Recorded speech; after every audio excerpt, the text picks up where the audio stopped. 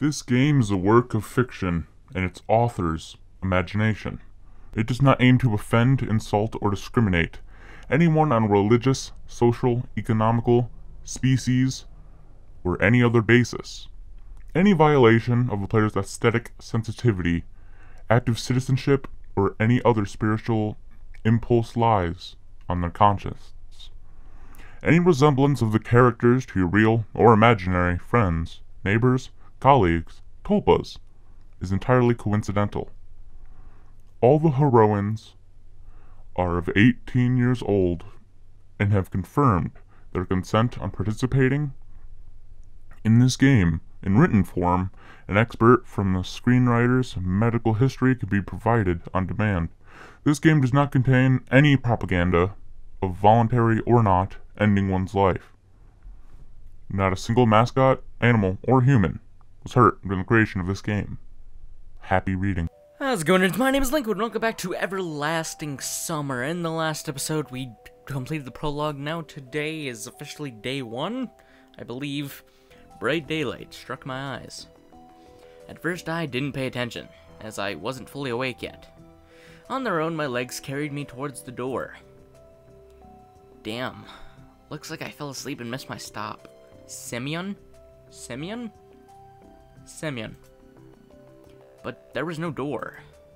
I looked around the bus and realized that it wasn't a good old worn Laz. Instead, the bus was an Ikarus model, a new one. I froze in shock. I mean, if it's Icarus, wouldn't you burn? How? What? Uh, am I dead? Have I been kidnapped? No, I'm, I must be dead. I patted myself down feverishly, slapped myself painfully in the face a few times, banged my forehead on the back of one of the bus seats. It's clear, either I'm still alive or you can still feel pain when you're dead. But how could this happen? Maybe I slept for too long and ended up at the bus depot? And then what? Did they put me onto another bus?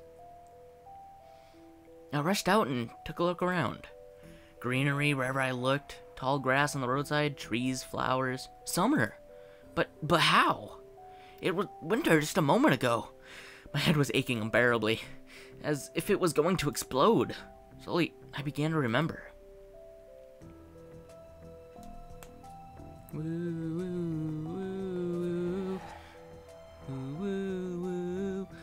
Don't know what's happening. Bright colors, bright colors. No long road, running off into the distance. Forests, plains, fields, lakes, and forest again.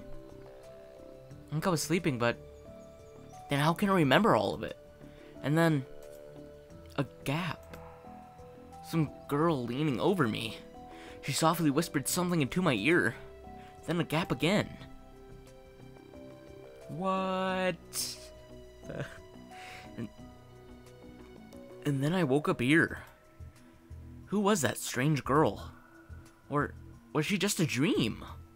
For some reason, thinking about her made me feel better and calm me down a little. I felt warmth all over, coming from the inside. Could it be her who brought me here? Then I need to find her. And the best place to look for her is away from here. I rushed to the left, then to the right, and stopped, hesitating over where to go. Finally, I ran in the direction from which the bus had probably came. Transformers, what is happening? Physical exercise does refresh one's mind. Thoughts become clearer, and it gets a little easier to evaluate the surrounding reality. Not in my case, however. I was sitting on the roadside, wheezing and trying to ease my sore throat by gasping breaths of hot air. In any case, the run did its job. The fear withdrew for a while. Maybe I really am just dreaming? Though recalling myself on the bus, I immediately rejected the idea. I am neither dreaming nor dead. A road ran through the field and far into the distance. That exact same road from my dream. It must be very far from home. And it's not just that it was winter yesterday and it's summer now. It's the whole environment. Of course, summer is usually like this, green and hot. But here, everything is not entirely lifelike. Everything looks like it was taken from paintings of Russian of Russian landscape, artists of the 19th century. The grass is just too lush. The brushes are not like what bushes should be. They are so thick that you can't see anything through them. Like treetops, honestly. In the trees themselves, the forest was quite far away, but the trees looked as if they had closed their ranks and were now just waiting for the order to advance onto the fields and plains. I caught my breath and looked at the bush. Looked at the bus, which was now barely visible. That was a good run. Fear overtook me again. Those power lines. There must be people here. But what does it mean? In fact, that means nothing at all. Could they have power lines even in hell? Roasting sinners over hot coals? That's so last century. I must have reached a point of no return, after which you should either lose your mind completely or finally try not to understand what's going on. And well, I still have a choice. I should pick the second option. I slowly headed back to the bus. Of course, it was scary, but I'm not likely to find an answer in the fields or the woods, and this wretched bucket of bolts is the only kind of link that I have with the real, real world. Kubahuk. Kubahuk. Welcome to Kubahuk. I should carefully scout the area. Suvuk means Olit. Sovianuk. Sovianuk. A brick wall and its gates crowned with Soviak. Signs, statues of pioneers standing on the other side, and a road sign nearby showing the bus route. Number 410. The trip's taking a bit too long today. I smirked. A person may start acting inappropriately in extreme situations. Something like this is probably going to happen to me now. This place didn't look abandoned at all. No rust on the gates, no damage to the walls. Souvenir. No, don't go up your cat. What are you doing? Don't interrupt my recording. What do you think? What, what's wrong with you? What could have a name like that? Judging by the pioneer statue, it could be a kid's summer camp. Moreover, it appears to be open. Of course, the simplest explanation, logically speaking, explains nothing at all. The strange girl, the altered bus, summer, the pioneer camp. Thousands of theories went through my mind instantly, from alien abduction to lethargic sleep, from hallucination to a time and space shift. None was worse than any other, but there was really no way to pick a single one. Then it occurred to me. I can try to make a phone call. I took out my cell phone and dialed the first number from my contact list. But instead of signal strength bars, the screen was showing a thick cross. Alright, that means no signal in such a remote place. Though, I cannot be the only one who came here. Buses don't drive themselves. Or do they? I explained the bus. I examined the bus from all sides to make sure that this wasn't hallucination. Bits of dirt in the bottom, some rust here and there, faded paint, and worn on tires. No, this is definitely a very ordinary Ikarus. Yeah, exactly the same kind of bus, which I which takes you to places beyond your understanding if you carelessly fall asleep. I gave a nervous chuckle. It came out by itself, sporadically. Because this wasn't the right place or time to laugh. But where on earth is the driver? I cautiously sat down on the curbside. Is it? I don't. Is that? I don't think that's how you spell curb. Beside the bus and started to wait. My patience didn't last long. The anxiety seemed to have reached its peak, and I started to go slightly mad. In such a situation, anyone would have probably felt something similar.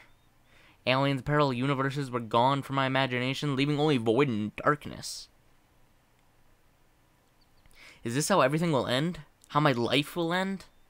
But I wanted to do so much. There were so many things that I had no time for yet. I was overwhelmed by the idea. This was definitely the end. But why? It's not fair. Should I'm surely I'm no worse than anyone else. God, why?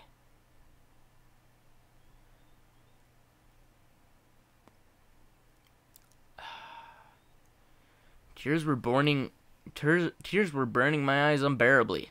I curled up and started rolling in the grass. Why? What did I do? Why me? But my cries were only heard to the speechless statues of the pioneers and a bird on a tree, which immediately flapped its wing and took off, crying out something in its own bird language as if laughing at the idiot who dared to interrupt its after dinner nap. I was left breathless from weeping and just lay quietly, sobbing occasionally.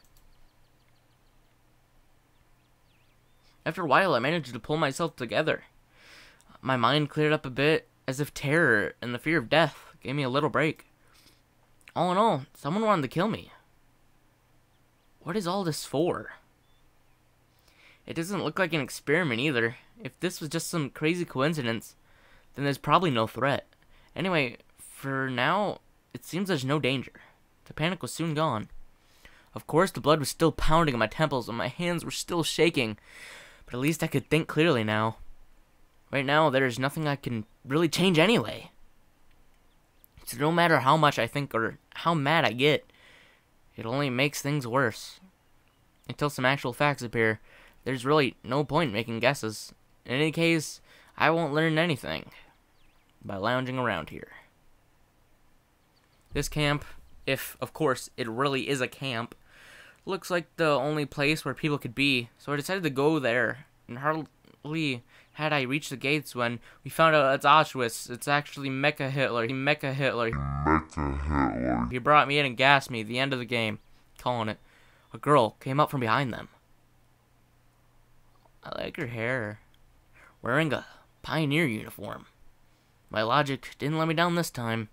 Then again, a pioneer uniform in the 21st century? And then again, a girl here. I fear was unable to take a step. I feel very much like running away.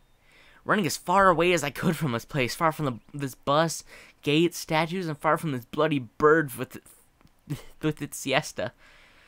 Just running, free like the wind, faster and faster, waving to the planets passing by, winking at the galaxies.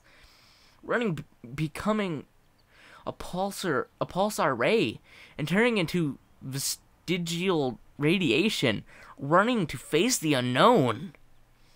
Run no matter where, as long as it's far away from this place. Meanwhile, the girl came closer and, and smiled. I could not help but notice her beauty, even though I was trembling with fear. Human instincts work independent of consciousness, and while only 5% of the brain is responsible for cogn- cognitive processes, the remaining 95% are still are always busy sustaining life, and in particular, ensuring stable functioning of the hormonal system.